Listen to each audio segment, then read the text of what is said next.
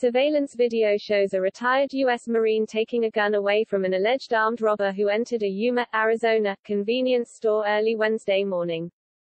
CBS 13 reports that the incident occurred in a Chevron gas station when three suspects entered the store, one of whom was allegedly armed.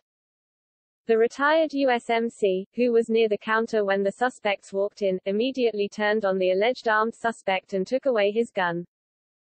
Fox 8 notes that the former USMC was able to detain the suspect after disarming him, but the other two suspects fled the scene.